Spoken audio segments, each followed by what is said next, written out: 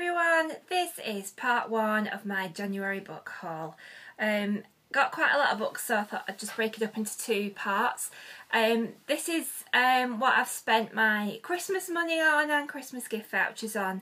Um, if you've seen the other videos, you'll know that I have been a recent convert to Harry Potter. We've been given um, a copy of the illustrated guide for Christmas which I absolutely loved, got totally transported, and so I can't wait for the other books to come out, so I've bought the rest of the Harry Potter books, but because they're in a beautiful set, I did have to get the first one as well. So that's Harry Potter and the Philosopher's Stone, Harry Potter and the Chamber of Secrets, you all know these, number three, Prisoner of Azkaban, Goblet of Fire, quite a big chunky one that one even bigger, The Order of the Phoenix.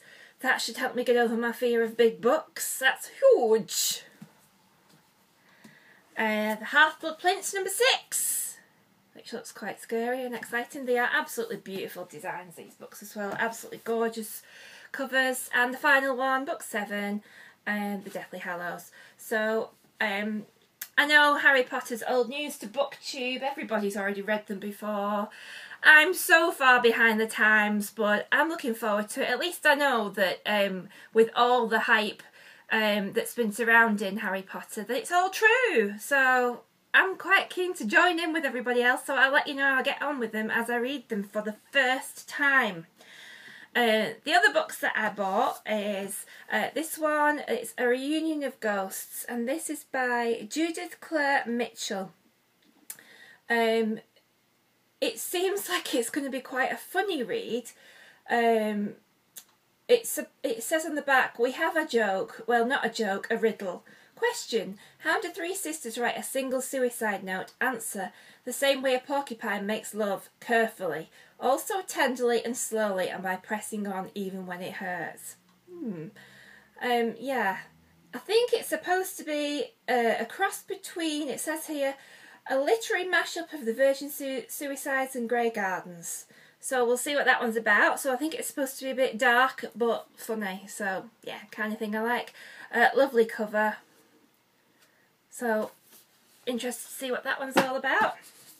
The next one I got is Watership Down by Richard Adams. This is the 40th anniversary edition. It's absolutely beautiful The drawings are stunning and it's one of the classics that I've never read. Um, I don't even think I've seen the film but I do remember the song being out which probably most of you won't because you know I'm so old that I do remember things like that. Um, the beautiful cover design and it's one of those sort of lovely matte kind of velvety books. Um, so keen to read this one, don't know much about it and quite happy to go in blind and find out what is with the rabbits. Uh, the next one has also got rabbits on the front, and this is Oryx and Crake by Margaret Atwood. I have read Alias Grace and The Handmaid's Tale by Margaret Atwood before, and adored them, and I believe this is part one of the MaddAddam series. Um, as I was buying it in the bookshop, the bookseller was saying, oh, you'll love this, it's absolutely brilliant, oh, it's a great series, so good recommendation, so hoping to get absorbed and lost in this. Love the way Margaret Atwood writes. She's always going to surprise you with everything that she writes.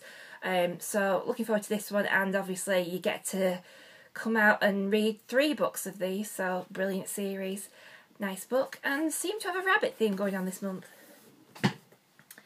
The next one is Our Endless Numbered Days by Claire Fuller. Um, I've heard about this one on YouTube um, a lot it seems like a really great premise for a book where um, I think is it grandfather tells his granddaughter that the world has ended and they go and hide out in the woods. I kind of like going into books not knowing too much, but it, again, I seem to always have a theme with my books. I do like a bit of the dark side of life, so it sounds really good. It's got excellent reviews. It's an absolutely beautiful cover. Um, and I think it's actually one of the Waterstones book club books. I think that's where I picked it up from on the pile. I think quite a few of these that I've got are. So yeah, that looks great. The next one is um, Slaughterhouse 5 by Kurt Vonnegut. I have never read any of Kurt Vonnegut, um, so it's time to read a few more classics. Like I said, I read a lot, but I don't feel like I'm well read, so this will um, be a part of that. It's one of the lovely vintage red spines. Quite a quick read, so it shouldn't take me too long. Don't know a thing about this. Heard about it, haven't got a clue what it's about. Probably not going to read the back before I go into it. Just read it and find out. Uh, the next one, my daughter actually found for me when we were browsing the shops, and it just sounds like my kind of thing. She knows me quite well. And it's Quite Ugly One Morning by Christopher Brookmyre. I have heard of this author, but I've never read any of his books, don't know anything else by him. Um, but this one, again, sounds like um, a fun, dark crime novel. Um, it says, a crime, a corpse, a killer. Heard it. Except this happens to be a Ponsonby, scion of venerable Edinburgh medical clan, and the manner of his death speaks of unspeakable things. Why is the body displayed like a slice of beef? How come his hands are digitally challenged? And if it's not the corpse, what is that awful smell? It's crime, it's dark, and it's set in Edinburgh, one of my most favourite places in the whole planet. So, yeah, looking forward to this one. The next one is My Brilliant Friend by Elena Ferrante. Um, this is the first one, I think there's four books in this series uh, by um, Italian writer. It's translated fiction. Heard great things about it. Again, don't know much about this one, but it's an absolutely beautiful book. Um, it's got beautiful French flaps on it, and it feels quality, well made, sturdy, good kind of, yeah, just feels lovely in your hand. So that's that one. The next one is the Penguin English Library edition of Middlemarch by George Eliot. Um, I haven't read any George Eliot, but this book seems to top all the greatest reads charts.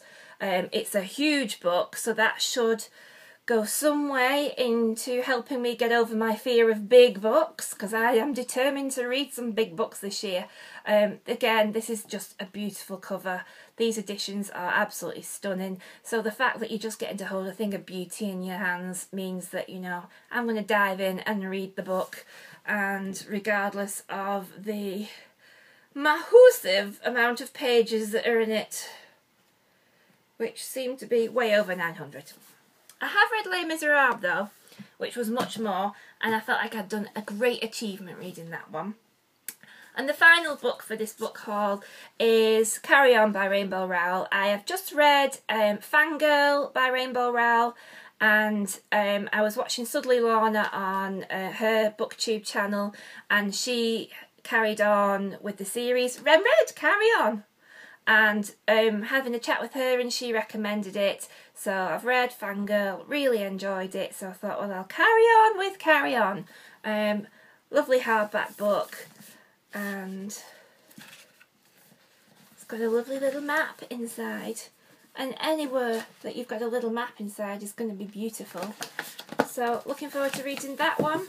Um, so that's it for part one of my January book haul. Um, I have got some more books coming, but they're on pre-order, so I'll do part two towards the end of the month and let you know what I got with the rest of my Christmas money and Christmas vouchers.